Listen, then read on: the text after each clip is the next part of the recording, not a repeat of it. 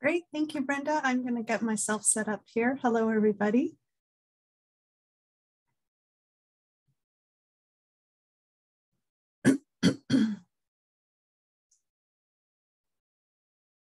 Excellent. I'm hoping that you can see my screen well.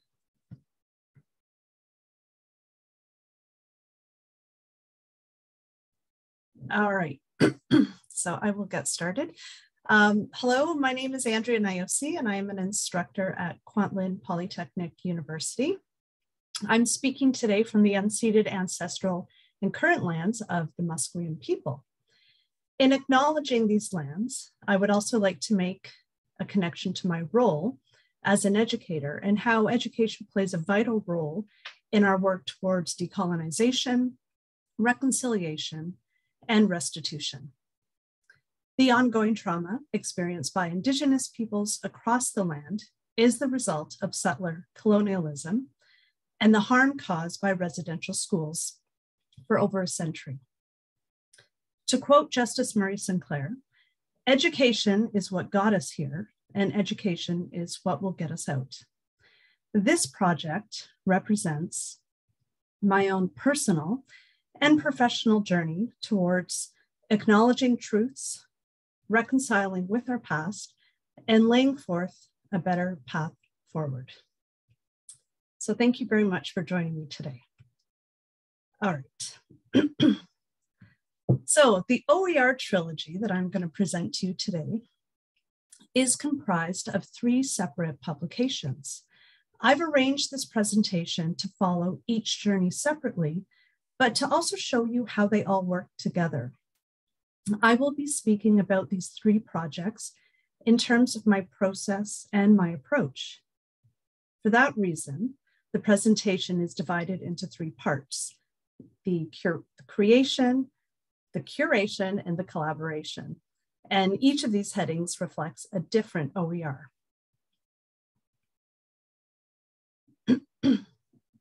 so the three publications that I'm very excited to introduce you to are my consumer behavior open textbook. And then second project is the instructor ancillary resource guide, and this accompanies the textbook. And the third is my special piece of magic in this trilogy, which is the student anthology. So we begin with a look at the open textbook. This open textbook began in late 2018 I was inspired to create this book because I could see the inequities caused by the traditional publisher's textbook. Many of my students couldn't afford the book, and those who could afford it were actually more likely to achieve higher standards in the course. The traditional textbook was also fraught with content that really bothered me and even my students.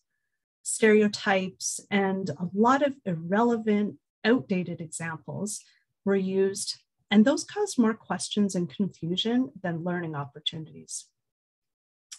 The accompanying test bank was also poorly representative of my students and often contained gender or racial stereotypes. I even tweeted these out in a rant a few years ago because I was just shocked at how poorly written and worded these questions were. So I realized it was time for a change. In 2018, I applied and was awarded a grant from my institution, from Kwantlen, to get this project off the ground. In 2019, I participated in the UNESCO Open Education for a Better World mentoring program, which also motivated me to complete a large portion of my work by the summer of 2019 so I could present it at the conference in Slovenia. I continued working on this textbook as much as I could while teaching full time. And in early 2020, I was awarded a grant from BC Campus to complete the book, which I did just over a year later. And then it was published this past summer. I should add that completing this book was part of BC Campus's initiative to have zero textbook costs resources in marketing undergraduate programs. And I was really happy to be able to contribute to that. So there are a few things that make this book stand out from other tradi- traditional textbooks on the subject of consumer behavior. And consumer behavior largely borrows from psychology, sociology, anthropology, as well as business and media and communications, advertising. Going into this project, it was my intent to do the very best I could to decenter whiteness and dominant culture perspectives. I really wanted my students to see themselves in the stories, the examples, and the content so they could relate better to the materials. Additionally, incorporating social and environmental justice themes was really important, especially when talking about topics related to consumer decision making, consumption, and consumer capitalism. I have a mantra in this course when I'm teaching it and I really want to reinforce that marketing is not a right, it is a privilege. And for those of us who are doing marketing and, and perhaps even business in general, we have a responsibility to do our work without causing or perpetuating harm. So, one of the features I'm most excited and proud of is the amount of student created content within the textbook itself. So, open pedagogy has been a cornerstone to building this textbook. And I believe the opportunity for students to learn from their peers has made the content more relevant and useful. So what makes this book stand apart from the others, in addition to being open, licensed, and free? While the content has been intentionally targeted towards addressing the erasure of traditional knowledge systems. So some examples, we examine how Maslow appropriated the Blackfoot way of life model that informed his hierarchy of needs. There's probably not a business course or textbook anywhere that doesn't talk about Maslow, but very few actually talk about where he learned and was informed in order to conduct his research and create his models. We also look at topics that aren't traditionally shown in many textbooks or marketing courses, for example, how cognitive biases created fear and uncertainty for consumers around consuming food containing MSGs. But this, of course, was only targeted at Chinese food restaurants. Maybe this is something some of you remember growing up with. I certainly do remember seeing signs all over Chinese food restaurants about their food not containing MSG. But of course, none of this sort of marketing was ever applied to Western food, such as potato chips or french fries. One of the book's content creators or content contributors also provided a critical overview of the real psychological damage caused by Indigenous mascots and why this particular form of racism in sports exasperates inequalities and fuels racial injustice, particularly for school age children, where racist Indigenous mascots are part of a sporting program. We also examine in the book how consumers are manipulated through cause related marketing campaigns, particularly around environmental greenwashing, as well as the rise of pinkwashing, which can often be associated with marketing campaigns related to breast cancer fundraising. And finally, we journey to the world of TikTok users and K pop fans uh, to learn about how collaborative work by teenage brand communities can join forces to intentionally sabotage a particular US presidential's quest for adoration in the form of political rallies. Hopefully, this is relevant and interesting to our students today. The infusion of social and environmental justice themes come in the form of the Sustainable Development Goals. This textbook is an open educational resource, connects to SDG number four. Within the content of the book itself, I've prioritized establishing equitable representation, the best of my ability, while pulling back the curtain on how marketing can perpetuate inequalities within different consumer groups and subgroups. We also look at how marketing should be held responsible for designing strategies that fulfill responsible consumption, production, and even product disposal at the end of the product life cycle. So these four SDGs have been a critical part of building the content in the book. Now, open pedagogy practices have, of course, played a central role in developing some of the content for this textbook. Students have contributed to shaping the book through annotated learning, by authoring content themselves, and by creating interactive and engaging teachable content for future learners.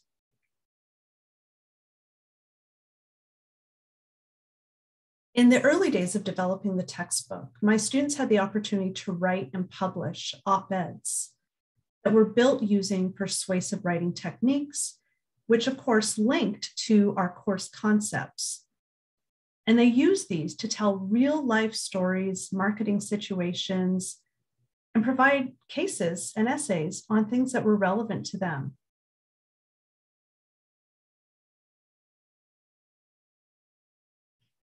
In addition, students have had the opportunity to create projects where they could build teachable content that future students could learn from. So many of these projects were actually developed using H5P, which of course is a very well suited tool, tool for an open textbook developed in Pressbooks.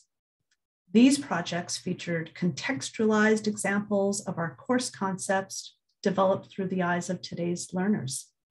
So these two examples here show a timeline of fast fashion and its implication and impact on the environment, and as well, a timeline of all the different kind of world cultural events that have really shaped Gen Z through marketing. Really neat topics. So a few tips and takeaways, of course. In my experience creating this first textbook, it was long and daunting process. I'm not going to pretend that it was an easy one that I could just juggle along with full-time teaching load. In the early days of putting together the structure and the content, students were still having to use the publisher textbook.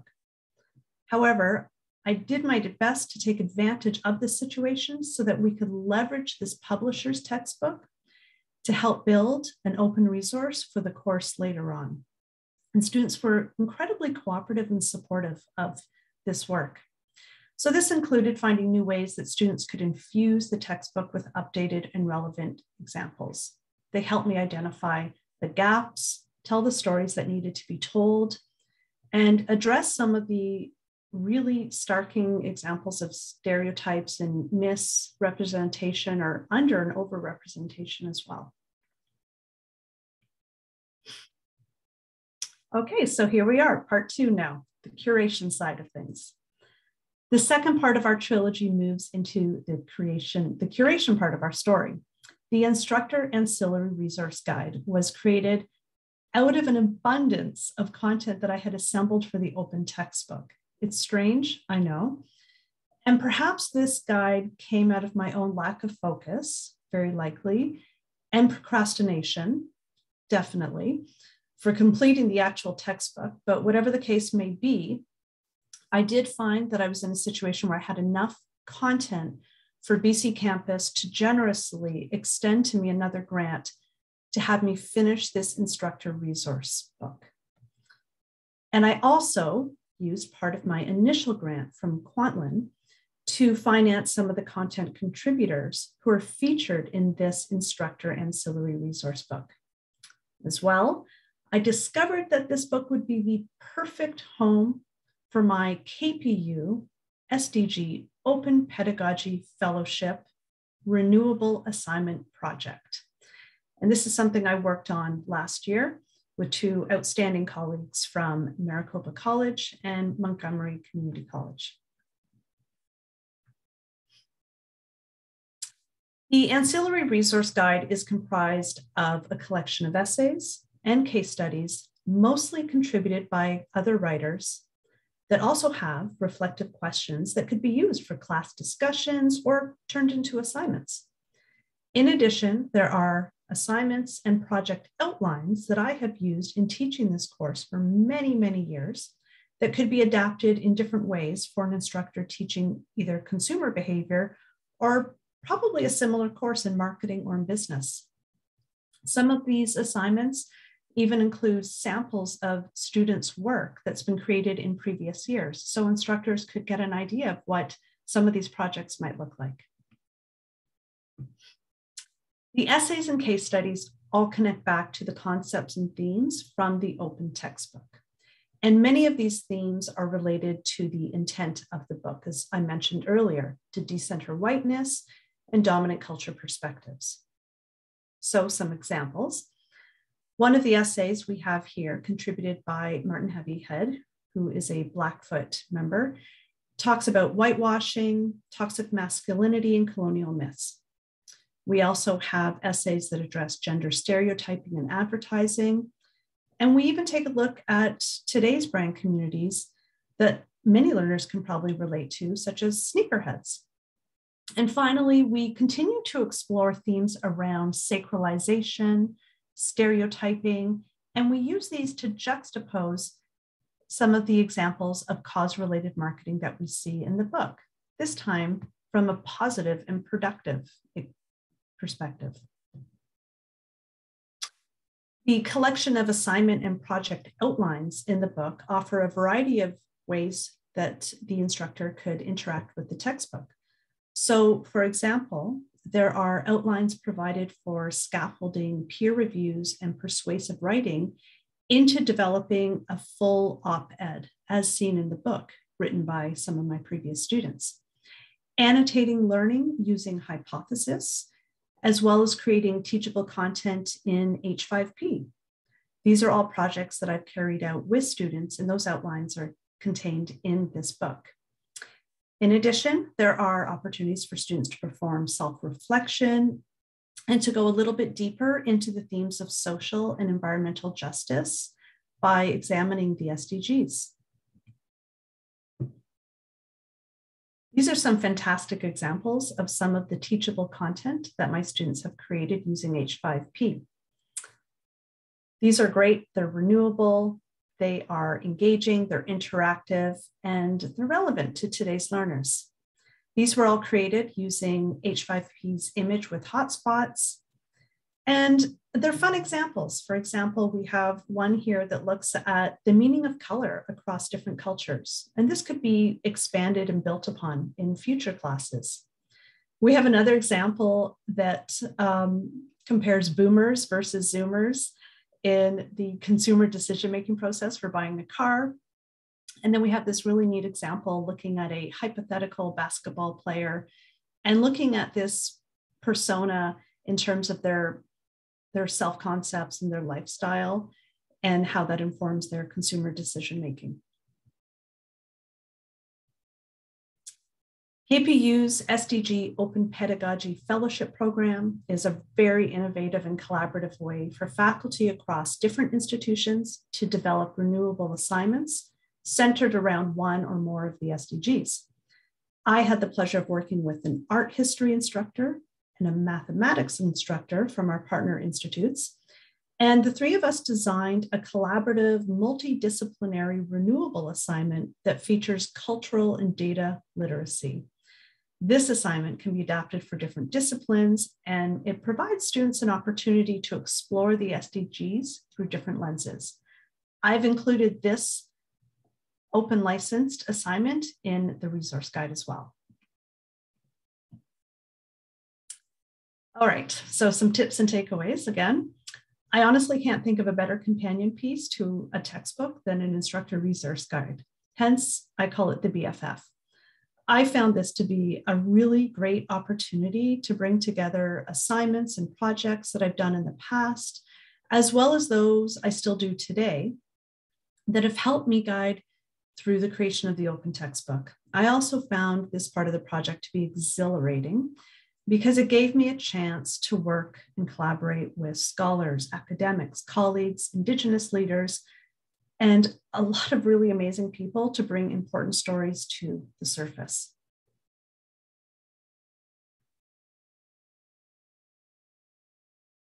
Finally, we have now come to the last installment of my trilogy. This final publication, which is still a work in progress, is a collaborative piece designed specifically for students. This is a student created OER that focuses on the stories and experiences of my students and what they've gone through as living as consumers during a pandemic. The content in this book is based on concepts and themes from our open textbook, but it's all expressed through self reflection in a variety of creative formats. I am collecting the content this year. I hope to apply and be successful in getting a grant next year to um, undergo some editing and accessibility work on the book, and then hoping to publish this next year as well. The student anthology has been presented to my students over my summer terms this past summer and the fall term right now as an optional final assessment in our course. So students can choose either to do a final exam or they can join me on this publishing journey. They are given the choice to develop and express their work in whatever format they prefer. So we have essays, infographics, even videos. And I collaborate with students to help them develop their work so that it is suitable for publishing.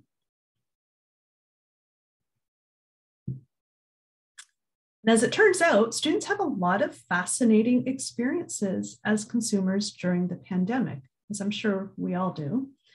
They have shared what it's been like to adopt a pet and become a new pet owner during the pandemic, how the coronavirus has changed their digital experiences as online gamers.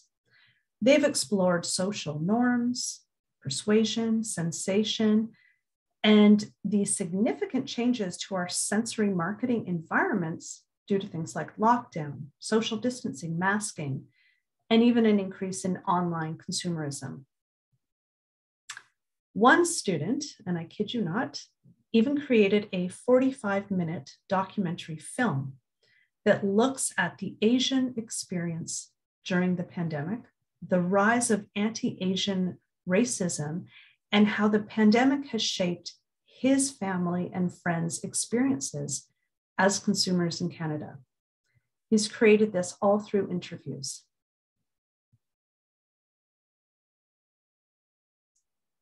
really wanted to include some testimonies from students. So with their permission, I've added these to the presentation. Ravi writes, I have found that it was a lot of fun for me writing a student anthology compared to doing a final exam, as I found it put less stress for me, thus leading to more flexibility. Furthermore, I was astonished when there was an alternative between a student anthology and final exam, as most of the previous professors I've had in the past have never offered an option between a final project and final exam. In this way, I have found that I was able to demonstrate my knowledge further, which can lead to other students learning about the work I have created. Ina wrote, the student anthology is a great way for us to understand the concepts and overall material in the course. By taking the content and using real life examples, we develop a better understanding of the material. Creating this content for future students is a way to share your own perspectives that can be relatable to other students in ways they may not have thought of on their own. By doing a final exam, it can create a lot of stress, panic, and trying to memorize all the material rather than understanding the concepts. By doing the student anthology, I realize that it has made me a better student and will keep the material solidified in my memory for the long term. And Evan shared, working on the student anthology allowed me to be invested in my work because it lasts and other people can benefit from it. Memorizing and then forgetting answers to questions on an exam is stressful and doesn't necessarily show an understanding of material. I chose to do the anthology to ensure that future students understand the real world experience that we had during the pandemic and how the course topics applied to that experience. It allowed me to be creative and personal in my answers instead of reading an outdated case study. As a student, doing projects such as this makes learning enjoyable and fulfilling. Wow. wise, wise words. so, a few final tips and takeaways. Out of all three parts of this trilogy, I have to say this final piece feels magical to me. My best advice in working with students on such an ambitious project is to prepare, plan ahead, and build in enough time to help them develop work that reflects their vision. This also presents an excellent opportunity to introduce students to the world of open licensing, using open license tools, and even legacy building. And finally, to quote myself, because I've said this at several, I've said it several times at different conferences, and I've seen this quote circling around in different places, but I truly believe that unconventional assignments call for unconventional grading. And none of this would be possible if I had not embraced aspects of ungrading and put more trust into students already. So these are my three pieces that make up the anthology. This concludes my story. It all started with an open textbook that needed to right the wrongs of past marketing textbooks. It overflowed due to an abundance of work and a very restless mind, as well as a desire to see the open textbook adopted by more instructors through the creation of an ancillary resource guide. And then to cap things off, giving my students the opportunity to share their experiences and to create a resource for future students seemed like the perfect fit for this trio.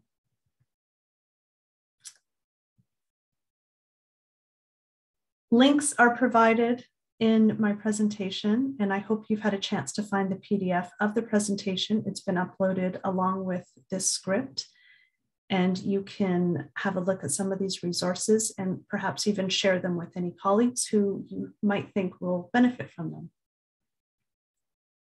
And this is my OER trilogy. Thank you so much for listening, and I hope you've enjoyed this.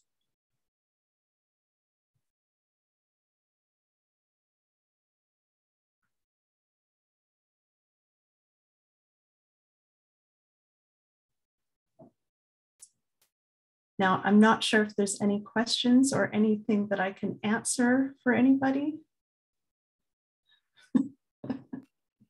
Hi, can I ask a question? Can you hear me? I can hear you. Okay, so I teach in a business program also, and I just like, I don't know if I wasn't hearing part of this, but I'm curious, like, over how much time and how many classes did you create these materials? It just seems feels like so ambitious. I, I'm really inspired by it, but I'm also like, oh, how much time? Like, you know. So I'm just curious if you could, if you could elaborate on that a little bit. Well, I started the open textbook in 2018 and I published it this summer. So a few years, but that was in addition to teaching full time. So during my non teaching term, I would dedicate as much time as I could to pulling curating all the open content and then filling the gaps and working with content contributors. So, um, and then I did have a grant from BC Campus, which I used as a time release from some of my teaching loads. So I could continue to dig in. Um, and then the uh, ancillary resource guide just kind of happened, as I said, through this abundance of work, essays and case studies that I had collected. So I, it gave me a chance to kind of separate and divide those two. So that project itself didn't take us long. I have a test bank for it as well um, that will be published any day now. I just have to get it to Melody, get it to BC Campus. And then the student anthology, this final piece, um, I'm just, I've been doing that over the summer and this fall with my students. So it is a it is a big project. It's taken me several years to work on this. And I don't necessarily think that everyone has to do all of these pieces. I think that there's a way to sort of carve out your own space amongst all of these. I don't know if that helps. Yes, that super helps. Yeah. Okay. Yeah. Thank you. You're welcome. I'm happy to help more. Uh, so I see Sharon, you have a question here regarding the grants. Did you use the funds to pay students or staff to help with creating the book or did you use it for course release? So a combination of both. Sharon, uh, BC Campus, their grant was for course release. And then KPU's grant was um, what I paid content contributors, which um, one of those is in the textbook and the remaining ones are all in the ancillary resource guide. So I would work with them to co-write or edit um, the case studies and essays. And even one content contributor just had this really like awesome Twitter thread. And I was like, oh, can I pay you to so I can rewrite that as an essay? She's like, sure. and so I, I did that. And that's um, that formed the whole basis of the content around Indigenous mascots. So it kind of got sent out into different areas, which was so helpful.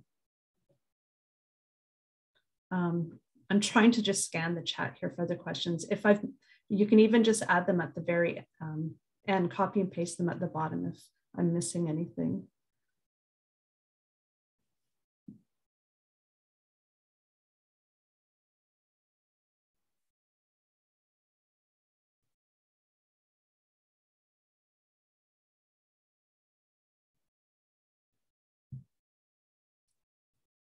Thanks for all the encouraging comments, everyone. I really appreciate it. Um, you're welcome to contact me if you have any follow-up questions. And uh, as I mentioned, the PDF provides links. So you can always um, click on the links to actually access the books in um, BC Campus in their collections. And then the student anthology is just a work in progress sitting in Pressbooks right now.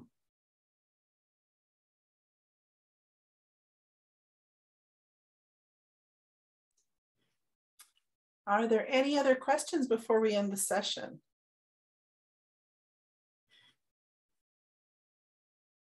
looks like there's lots of really flattering comments in the in the con in the comments there for you, Andrea. Um, so, you. oh, we do have another couple more questions.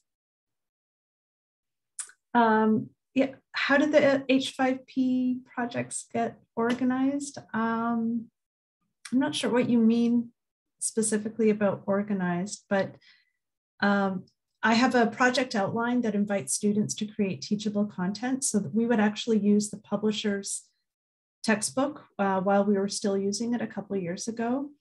And I would invite them to, you know, take any sort of model concept theory within the book and say, how, you know, how could you teach this to other students who could relate to it? And so students, I didn't I spend a class teaching them H5P and say, if you want to do H5P, here's how to do H5P. Um, if you don't want to use it, you don't have to. But a lot of students love trying out new tools. So, um, so they created these projects in H5P. Some of them are included in the textbook, and then um, some of them are in the ancillary resource guide as, um, as examples.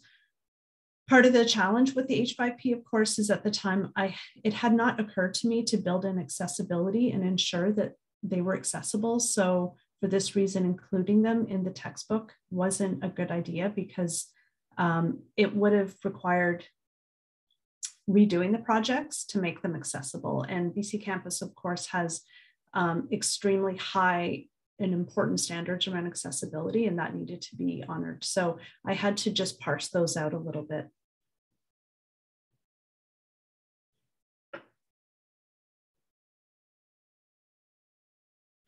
You're welcome.